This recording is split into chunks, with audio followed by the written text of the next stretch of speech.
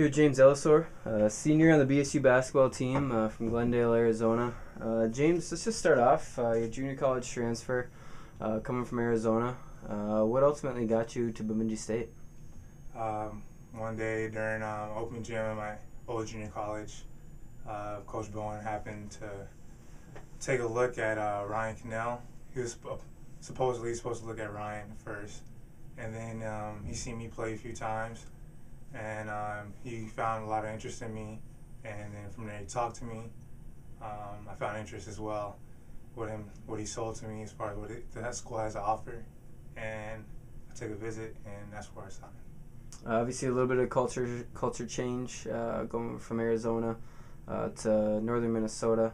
What was the first couple of things you noticed uh, on your visit? Uh, it was like it was a little snow on the ground. It wasn't much because it was during spring. Um, I met a lot of people. It was nice, uh, nice people. Uh, the environment, I thought that I could get, get along well with, uh, as far as the camaraderie and the people and just the overall feeling for it. And uh, that's the main reason why I came here. Um, how about uh, speaking of the, the change? Uh, how about food wise? Uh, do you have a, a favorite spot in town that uh, you've kind of grown to love? Well, coaches took us out a lot during the over the break, and uh, one spot that I really found to love is Giovanni's, um, just for the fact that they have a buffet and they have a variety of food, and I really love that place. Um, obviously, uh, unless you're in the mountains, there's not a lot of snow uh, in Arizona. Mm. Uh, have you uh, developed any cold weather, snow weather uh, activities or sports? Gone ice fishing or, or gone out skiing yet? I have yet to do any of those things. Um, funny thing is, uh, coach and a few other guys told me um, they, they're planning on taking us out places. The only thing I've been, the only thing I've done really so far is curling with the guys. Um, I plan to go ice skating and hopefully skiing one of these days. How was your curling experience? The curling experience was very fun. Uh, guys had a great time, got to laugh, got to hang out, and just do something new. Uh, especially the guys coming from Arizona as well as myself. It was a great experience. I didn't. I learned how to curl after seeing it many times on TV, and uh, it was fun. How about uh, you mentioned a little bit there uh, with you know adding some uh, more Arizona uh, guys this year. Mm-hmm. Um, what was your process in, in both getting them up here and then once they got here, uh, did you uh, kind of take over a little bit of mentor role and show them around a little bit? Uh, yeah, I did for some some part. Uh, Coach Williamson, he was the guy who recruited uh, both Jason and Dermaine here, and uh, the finishing pieces were for me to try to get those guys to come here as well. And um, I of ta- I contacted them throughout the year last uh, last spring, and uh, they kind of liked what I had to say, and I think their visit up here was also good, so that's why they came here as well.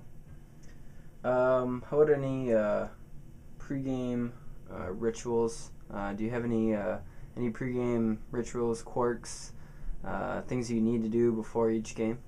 Uh, I'm not a big superstitious guy. I'm just a guy who likes to go out there and play. Uh, I'm, I'm, not too fancy of any rituals or superstitions. A lot of other guys do, but me, I'm just a guy just I'm ready and ready to play, ready to compete. Let's talk a little bit about this year. Um, let's go back just to last weekend. Uh, 34 points, uh, career high here at BSU um, against Augustana. Obviously, in a loss, uh, it's a little hard to get excited about that. But can you can you remember if you felt any different? Was something different clicking for you uh, on a night like that? Well, um, going into the game, I, I felt like I needed to have a good game because Augustana is a one of the top teams in our conference, and um, in order for us to win, we would have to play well as a team. And for myself, I know I have to score and try to just contribute in big ways, whether it's rebounding, defensive end, trying to stop the other player. Um, I didn't feel anything special at all. I just the game came to me, and as the game went on, I felt hot, and my teammates were able to give me the ball inside, and I was able to operate. And uh, fortunately for, for us, we took the loss in double overtime, but I think it's a great learning experience for us to move on. Talk a little bit about your scoring this year in general. Uh, right now, you're leading the conference. Uh, was that a goal that you had uh, uh, start of the season? Uh, not really. Um, my goal was uh, just continue to improve every day uh, in, in practice and in games, and uh, just try to be aggressive. Because I remember coach told me my role on the team was a scorer, and um, I wanted to make sure I do that. Did a great job at it as well as becoming a leader. And this year I'm taking on both of those roles pretty well, and um, I'm I'm actually doing well, and I want to continue to do it. Uh, what is it about uh, you know you, this is your second season at BSU? What is it about this group of guys um, that might be a little different from last year? Uh, it's not much different. Uh, of course, we left uh, senior last year, Pat Cassidy, and we were returning most of the guys we had from last year as well. But um, I don't think there's that much of a difference. I think just playing with them last year, uh, experiences, the tough losses we had, um, and just gaining more valuable experience and learning what the guys like, what the guys like to do in certain situations and how they play. I think that's what's helped us a lot this year.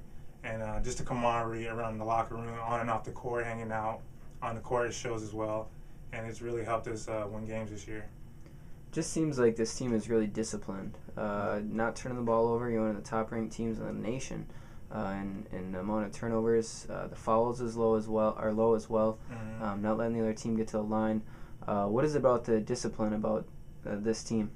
Well, coach has stressed a lot of emphasis on playing defense and moving our feet.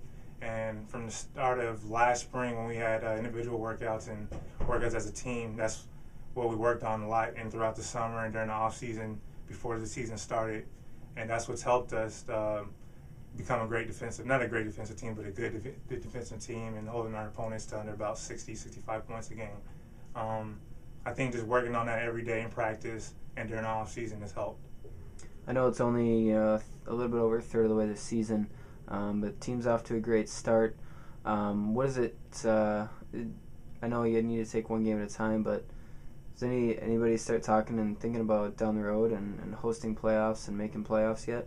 I think I think so. Coach coaches uh, haven't expressed their goals to us as the, to the players, but they feel like we're a, a contending team in a conference. For uh, where now we're sitting fourth, but uh, I think they know we could do better. We know we could do better, and um, as far as goals, I think coach wants us to uh, try to get that top seed. So when playoffs come, we can actually host a home game and then from go from there. Uh, speaking of being at home, uh, six and zero right now. Mm-hmm. Um, got four straight home games now. Pretty important stretch. Uh, what is it about uh, the the home gym this year? Um, honestly, I couldn't tell you. It's just a feeling. Um, uh, course, we practice a lot on the court.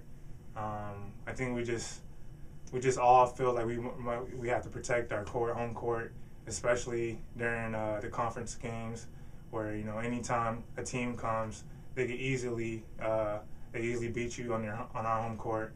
And I feel like as players, we we feel like we have to protect our home court in order for us to get a top seed in the playoffs.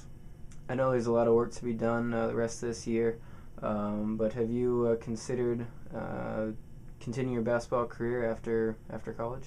I hope so. Um, coaches told me that uh, after after my senior year, I could I could be a player who plays professionally somewhere for 10 to 15 years, and um, hopefully, as the season goes on and our team continues to do well, I'll have some offers coming in or somewhere in Europe or overseas or somewhere I could play, and that's what I do look forward to.